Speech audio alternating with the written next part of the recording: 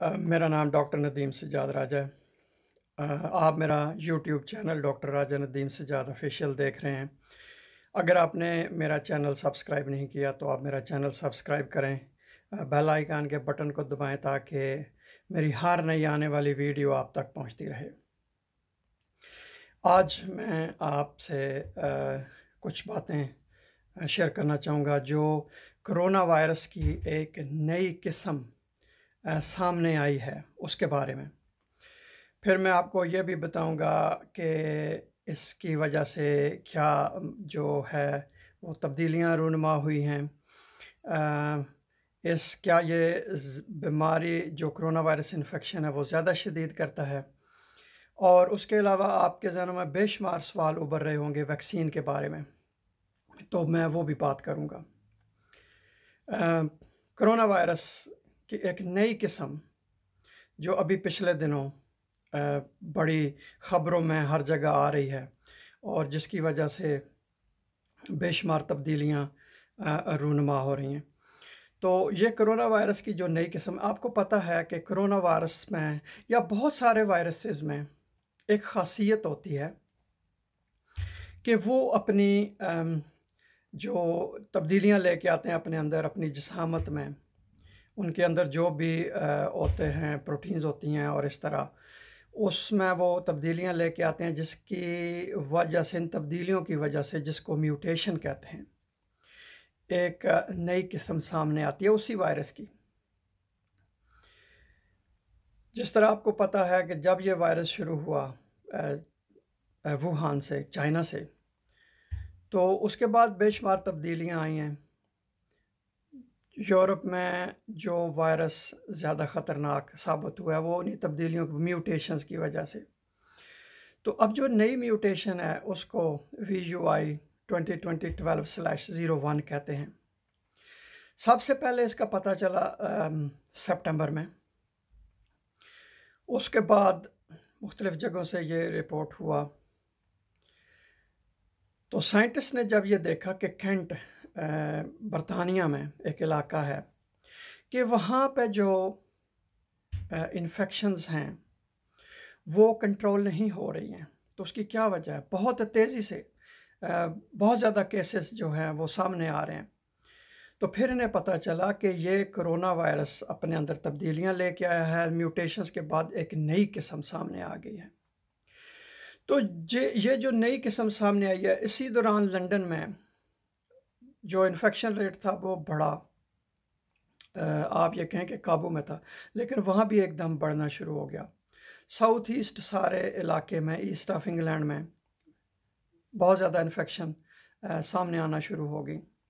तो इससे ये पता चला कि ये जो करोना वायरस की नई किस्म है न्यू वेरिएंट है, ये सत्तर फ़ीसद ज़्यादा फैलता है। इसमें यह खासियत है। जो पहले आप पहले ही जो कम्युनिटी में कोरोना वायरस इन्फेक्शन कर रहे थे, उनसे सत्तर फ़ीसद ज़्यादा। और ये एक साइंटिस्ट हैं, उन्होंने प्रेजेंटेशन दी है उसमें भी उन्होंने बताया है। उसके बाद प्राइम मिनिस्टर जो बरतानिया के हैं, उन्होंने भी बताया है। तो इसकी वजह से ज़ाहिर है, अस्पतालों पर बोझ पड़ेगा, लोग ज़्यादा अस्पतालों में दाखिल होंगे। महकमा सेहत के मैं जो लोग काम करने वाले हैं अ, उन पर उनकी ज- अ, उनके फ़राइज़ हैं वो बढ़ जाएँगे। हुकूमत को भी ज़्यादा जो है रिसोर्स वो लगाने पड़ेंगे। इसकी वजह से गवर्नमेंट को लॉकडाउन भी लगाना पड़ा। और ये टीयर फोर लॉकडाउन शुरू हो गया है साउथ ईस्ट और लंदन के इलाकों में। इसकी वजह से आपको पता है कि मीशत पर भी असर पड़ेगा, क्योंकि बहुत सारे मुल्कों के दरमियान जो हैं फ़्लाइट्स वो और जो आमदो रफ्ता है, मुअत्तल हो गई है, तजारत पर भी असर पड़ेगा। कुछ रिपोर्ट सामने आ रही हैं कि डेनमार्क में और ऑस्ट्रेलिया में, और वो यो, लोग ये कह रहे हैं कि ये बरतानिया से जो कोरोना वायरस इन्फेक्शन है, वो वहाँ से आई है। साइंसदान और जो तिब्बी माहरीन हैं, वो अभी तक इसका मताल कर रहे हैं। अभी तक उनके ये बात इलम में नहीं आई है कि ये जो वायरस है, जो पहले वायरस हैं, कोरोना वायरस, उनसे ज़्यादा शदीद इन्फेक्शन करता है या इसकी वजह से ज़्यादा मौत हो रही हैं, वो इस पर तहकीक कर रहे हैं। लेकिन अभी तक वो ये कह रहे हैं कि ऐसी, ऐसे कोई शवाद सामने नहीं आए कि जिसकी वजह से पता चले कि इस नई किस्म की वजह से ज़्यादा शदीद कोरोना वायरस इन्फेक्शन होती है या इसकी वजह से ज़्यादा मौत होती हैं। बहरहाल, आने वाले दिनों में हमें पता चलेगा। उसके बाद वैक्सीन के बारे में बात करते हैं। वैक्सीन जो है जो वैक्सीन बनाने वाले लोग हैं, जो इस, किसके माहरीन हैं, तिब्बी माहरीन भी वो ये कहते हैं कि ये वैक्सीन काम करेगी। क्योंकि वैक्सीन किसी एक, जो कोरोना वायरस की किस्म है, उसके लिए नहीं है। बल्कि जो कोरोना वायरस के अंदर प्रोटीन होती हैं, उनकी स्पाइस स्पाइक्स के लिए ये काम करती हैं। और जिसम में ये एक ऐसा जिसम को हदायत जारी करती हैं कि जो भी कोरोना वायरस आएगा तो उसके ख़िलाफ़ ये अमल पैरा हो जाएँगी। अभी तक तो तिब्बी माहरीन सारे जितने भी लोग हैं, वो मुतमिन हैं कि नई आने वाली वैक्सीन काम करेगी। लेकिन हमें एक बात नहीं भूलनी चाहिए कि जितने भी वायरस हैं, वो अपने अंदर तब, बहुत सारे वायरस अपने अंदर तब्दीलियाँ लेके आते हैं। वो भी कोशिश करते हैं कि जितनी भी दवाइयाँ हैं या वैक्सीन है, उनसे कैसे बचा जाए? तो वो अपने अंदर तब्दीलियाँ लेके आते हैं ताकि वो वैक्सीन से बच जाएँ।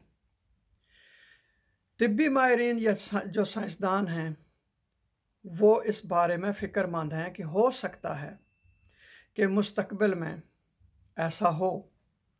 फिर वो ये भी कहते हैं कि जिस तरह हम जो फ्लू वैक्सीन है हर साल उसको तब्दील करते हैं, उसमें नई किस्में डालते हैं। तो इसी तरह हर साल जो कोरोना वायरस की वैक्सीन है, उसको भी अपडेट किया जाए, ताकि जो इस वायरस के मोहलक असरात हैं, उनसे बचा जा सके। बहुत शुक्रिया ये वीडियो देखने का। अगर आपके जहन में कोई सवाल है तो आप मेरे कमेंट्स के सेक्शन में लिखें। मैं उसका जवाब दूँगा। बहुत शुक्रिया।